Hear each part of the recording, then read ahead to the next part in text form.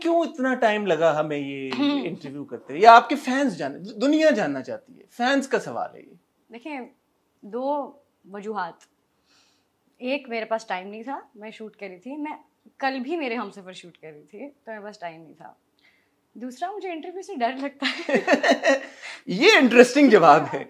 दूसरे वाले जवाब पे हम आते हैं क्यों आपको इंटरव्यू से डर लगता? है थोड़ा सा मुझे लगता है पीटीएसडी है मेरा। इंटरव्यू से या इंटरनेट से। ऐसा कोई इंटरव्यू हुआ आपका? आ, नहीं ऐसा कुछ नहीं हुआ कि मैंने कुछ इंटरव्यू में बोला और हो गया हो लेकिन ऑफ़ कोर्स इंटरनेट से मुझे थोड़ा सा वो है कि कुछ हो जाएगा कुछ बोल दूँगी। और अभी मैं आपको जैसे थोड़ी देर पहले बता रही थी कि मैं ओपिनियनेटेड हूँ और टॉकेटिव हूँ तो I can ramble for hours तो मुझे होता है कहीं कोई चीज़ मिसकंस्ट्रू ना हो जाए क्यों फजूल का ड्रामा सर ले लें तो believe me I can relate talkative and opinionated same है ऑब्वियसली मैं आप जितना पॉपुलर नहीं हूँ और मेरी उतनी तो मतलब तो आपको थोड़ा ज़्यादा ऑब्वियसली इस बारे में कंसर्न रहना पड़ता होगा. I can understand that but हम कोशिश करेंगे कि हम आपको किसी सवाल में ऐसे ना फंसाएँ जहाँ पे आप मेरे ऊपर।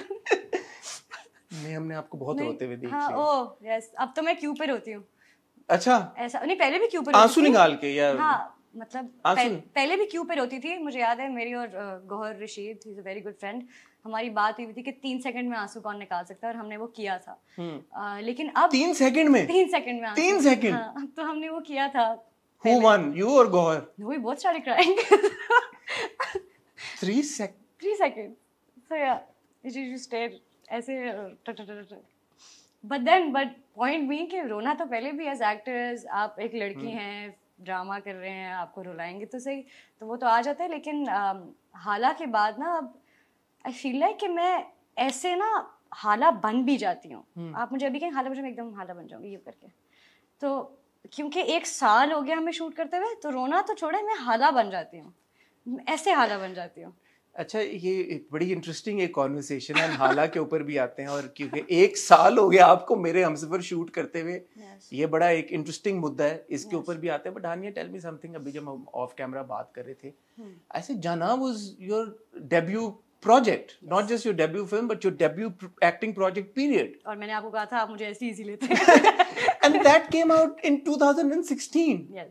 why do us all of us think that we know you since like forever? Because I've kept everyone very close to my life since the beginning. I've let everyone know how I live, who my friends are, what my life is like, what my fears are.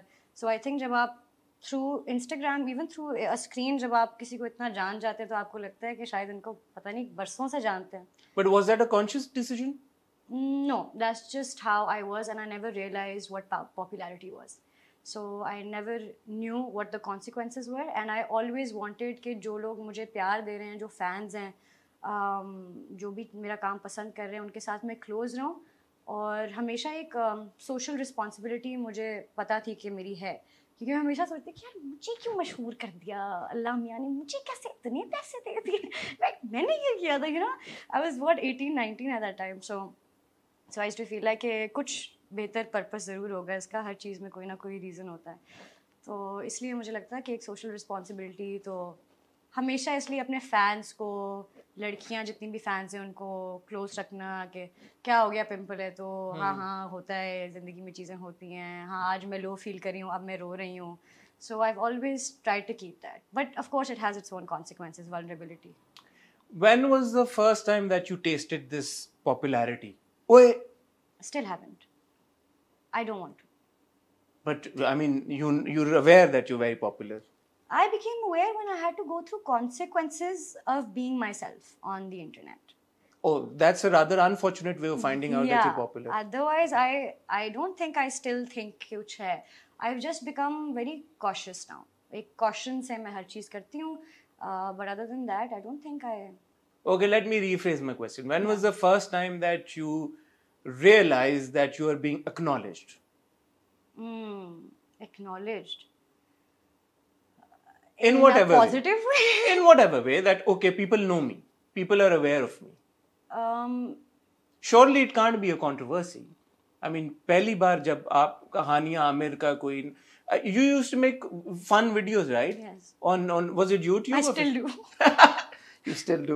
And you do an amazing haven't job. changed much. But वो जो थी वो वो वो Facebook पे थी या वो यूट्यूब पे थी? वो वो डब स्मैशेस थी वो मेरा कभी भी ये इंटेंशन नहीं था कि मैं मशहूर हो जाऊँ या मैं पॉपुलर हो जाऊँ ऐसी कोई इंटेंशन नहीं थी वो बस डब स्मैश एक नई चीज़ थी। मेरी बहन के पास नया टैबलेट आया था मैंने कहा आज ज़रा बनाए हाँ। तीन चार बनाई और अपना उस वक्त ऐसे ही नॉर्मल सा इंस्टाग्राम था कोई बीस हज़ार लोग फॉलो करते थे just because I would be funny और कुछ इस तरह की चीज़ें होती थी तो उस पर था and then people took them from my Instagram और फेसबुक पे लगानी शुरू कर हम्म। दी जहाँ से फिर प्रोड्यूसर्स ने देखा और फिर उन्हें जानान के लिए कॉल किया। जानान के लिए ऐसे कॉल थी। चलें फिर थोड़ा सा और पीछे रिवाइंड में चले ओह जाते हैं। आप कब पैदा हुए?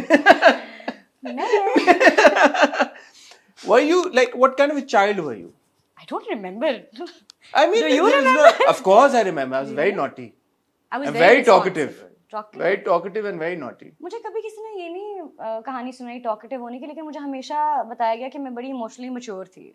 मुझे अच्छा। मुझे पता था कि कौन रो रहा है तो उसको दिलासा देना है कौन हंस रहा है किसको कौन, कौन सा जोक सुनाना है तो मुझे हमेशा ये पता होता था। तो इतनी मेचोरिटी थी कि यार मैं बड़ी होके ये बनूँगी? या मैं बड़ी होके ये परसू ये करूँगी प्रोफेशन पता था। हाँ, वो नहीं था पता। इमोशंस पता थे। इमोशंस पता थे। इमोशनल मेच्योरिटी अभी अभी फड्डा हो रहा है अभी मुझे नहीं बोलना चाहिए ये सैड उसको मैं जोक सुना देती हूँ। इस तरह का था। सो ये कभी नहीं था कि यार पढ़ाई करके डॉक्टर बनूँगी मैं। अम्मी अब्बू का मामा पापा कहते हैं बड़ा नाम करेगी. लॉयर बनना है मैंने। मेरे मेरी ज़िंदगी के अपने बड़े मसले थे from teenage I was very Very confident very vocal and funny and everything but I feel like in my earlier years I had to go through a lot of turmoil and because of that I don't think I could मैं it we moved around lot कभी किधर कभी किधर we move to Abbottabad for some time so मुझे कभी समझ नहीं आती थी कि मैंने करना क्या है यू नो मम्मी कहती है ये करूँगा तो जैसे ये कर लेता है तो इतना मूविंग अराउंड क्यों हो रही थी Uh, my mom and dad they they got separated when अच्छा। I was I don't know 11 or 12. तो उसके बाद we to move around lot wherever के अच्छा आप स्कूल के करीब यहाँ पे आ जाए oh you want shift school यहाँ आ जाए एंड देन माई नानी fell sick so we move to Abbottabad for three years so I live in Abbottabad for three years I I studies over there so इसलिए we use to move around lot या